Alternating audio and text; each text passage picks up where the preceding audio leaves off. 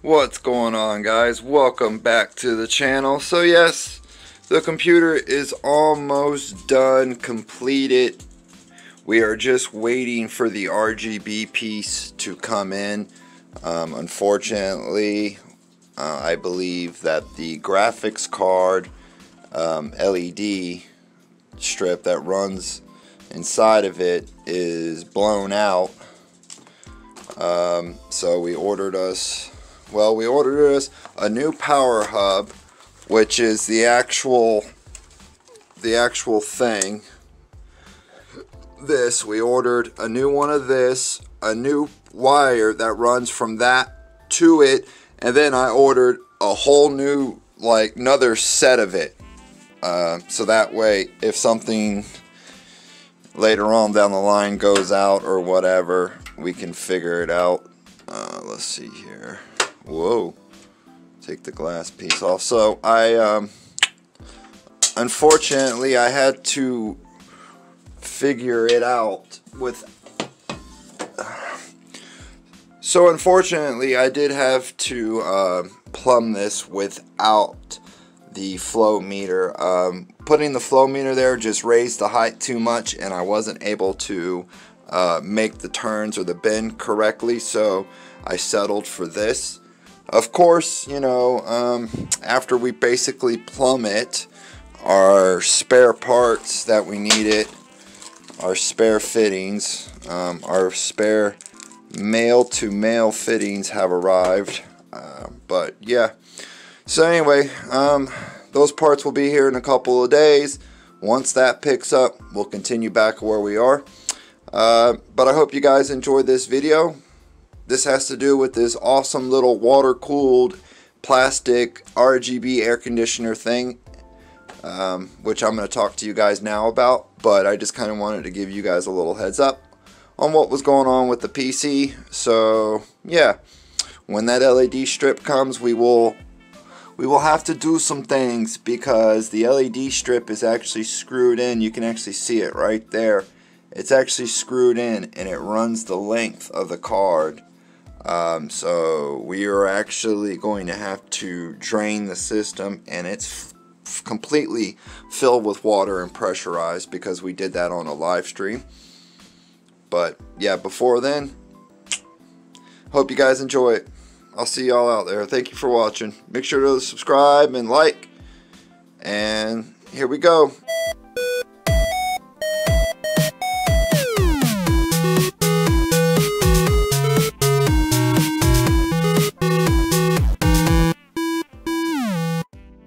So I believe I have talked about this before, um, but this is my PlayStation 3 um, sign.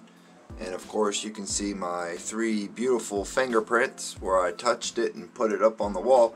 But that's not the point. I just wanted to show you the cool LED PlayStation 3 sign that sits majestically next to the PlayStation 3.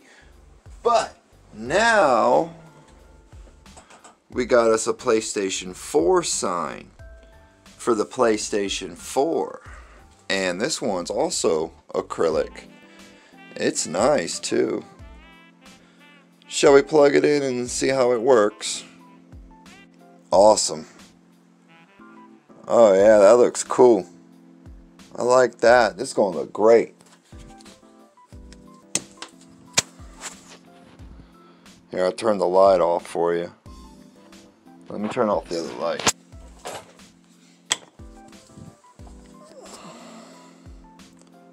Oh yeah. That looks cool. Man, this looks awesome. Yeah, this is going to look cool next to the PlayStation 4. And what I need to do is put the two PlayStations together so I can hang the two signs together. PlayStation 3 and PlayStation 4. Pretty cool, right? Alright back to what we were doing. Alright, so this is today's video. Actually, this is what it's like the whole point of everything you've seen has led up to this this thing right here. This is pretty cool. Um, it comes in a couple of different variances. Uh, they make the Eva Light Plus and the mini air cooler and the Arctic Air cooler and all these other things. Um, but basically what it is, it's a thermoelectric cooler that uses water to condense um, a small element to produce a slight cooling effect over a filter and a fan. Um, and of course they add RGB to it. So I thought that maybe we could check it out, hook it up to some. I brought a, uh, a mini, what do you call this?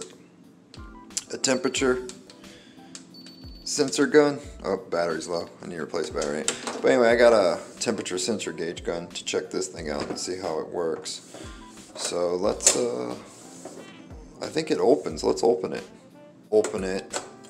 You pull that little tray out and that gives you access to this, which then flips open. Alright, and then you can see what's inside there. Really like this pull string here. And then that pulls out. Okay, so this is the filter. Ooh, what's all that? Is that mold? Wow, mold's already started to develop on this? No shit. What an interesting thing. Well, of course it does. It has moisture in it. Of course mold's going to develop on it. This is, I've only had this thing for about a week and I've only used it maybe, maybe it has 10 hours of runtime in it and look at that. It's already developing mold. I guess if you're going to use this thing you need to wash it and clean it out.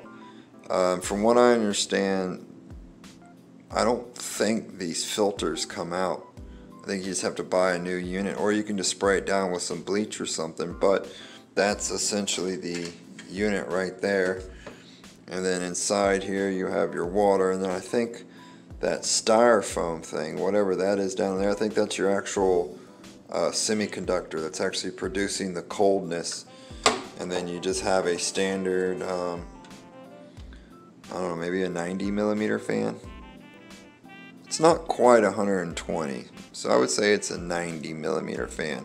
And then to power it all it takes a uh, which I was kind of surprised about takes a standard, oh, I'm leaking. Whoops. Where's that coming out of? It came out of them holes. I don't think it should do that. Oh, but you know what? The filter goes there. Oh, that's right. The filter goes there and it blocks the, in there and it blocks them holes up. Well, anyway.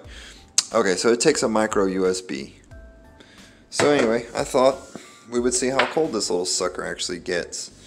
Um, I'm going to take this in the back and spray some bleach on it and fill it up with water and then we're going to put new batteries in the temperature gun and then we're going to see how cold it gets.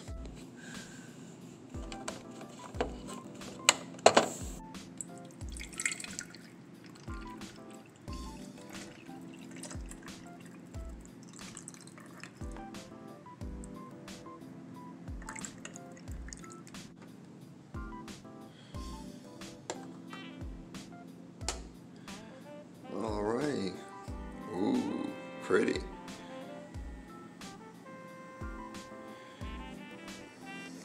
Green and blue. Let's see, what's the top say? 21.4 Celsius. Let's see, I can't make out the other part. It says 40 degrees, 4.0 Celsius is what it says. And man, that thing is really blowing out some air. Let's see how cold that air is real quick.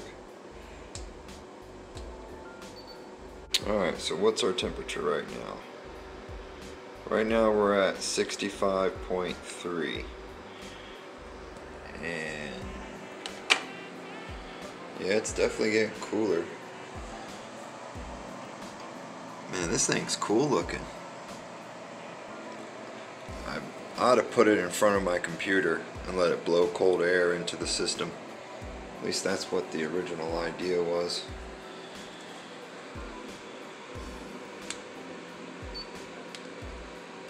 Now we're at 64. So we've dropped a degree in just talking.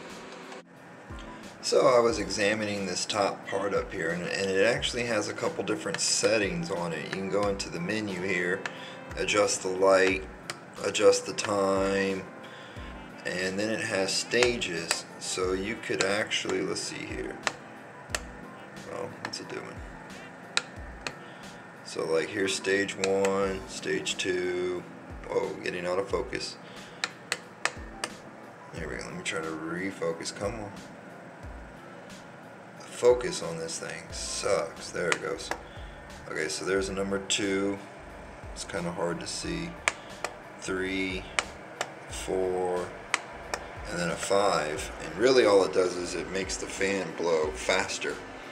And the coldest, this thing's been running for about 30 minutes now, and the coldest that I can seem to get it to go down to is about 64. Right there it's about 65 which if you think about it that's actually quite cold considering the environment that you would use this in you know it'd be 70 80 maybe 90 degrees wherever you are let's say it's 98 degrees in the house you know or wherever you are and it's really warm um, 60 degree air that's been moisturized blowing on you oh yeah that's gonna feel real good I mean that's right there it's, it's cool that's cool to the touch and I'm in an air conditioned room so I, I, I recommend this thing. This is really nice.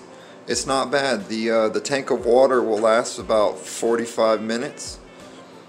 Um, it has a low water warning level thing, so once it runs out of water, it'll just shut down, which is a nice feature. You can pick this thing up for anywhere from $14 all the way up to $200. It just depends on the make or the model that you choose. This is actually a um, kind of like a mid-grade brand, um, but I like it. I mean, you can really feel that thing moving air. You can really feel that fan blowing air, and it's nice and cool. So, yeah, I hope you guys like it. Wow, that's cold too. Feel, ooh, that's real cold. The water's cold. How cold is that water? 60. 63, 62. So the water is actually colder than the air being produced. So that uh, that thermoelectric cooler plate thing must be right up underneath all that. But anyway, I hope you guys liked this video. Please make sure to subscribe. Thanks for watching, guys. Um, that 10th gen monster build's coming. We got a bunch of parts on the way. Uh, that's what happens when you do a custom, a full custom build, is that you end up waiting for parts. Things from China take anywhere from 20 to 40 days to arrive. Um, we got the build about 90% complete. Um, we just got to fix the RGB and add the rest of the customization parts to it. And then once it's done, we'll do a video. So I hope you guys like it. Please share this video on Facebook and everywhere else for me. Help us out. Try to get this channel to a thousand. We're almost there. We're at we're almost to 900 subscribers, guys. We need I need y'all's help. Push it, you know. Uh, share it to all the different groups in Facebook. Um, share it to all the different platforms and stuff. Help me out. Alright? I appreciate y'all. You guys be cool. And y'all can pick this thing up on Amazon. Uh, I paid about 35 bucks for this one. So, alright, y'all be cool. Thanks for watching. So anyway, uh, these are my Bose headset.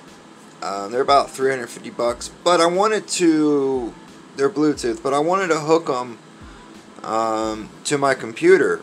Unfortunately, my 3.5 millimeter jack will not fit that, like at all. So what I actually had to do was go and buy a brand new 2.5 let's see hopefully this is what I ordered uh, let's see that's which one's which okay so that's the 3.5 and then that's the 2.5 right there. It was uh, $10 $6 I don't know. I don't really care. It wasn't that much money. Um, but I needed it. So I could um, so I could use the headset. Really surprised uh, that it didn't accept a normal 3.5 millimeter audio, it accepted a 2.5 millimeter audio, which I wasn't even aware they made one until I bought these headsets. But, okay, I just wanted to show you guys that.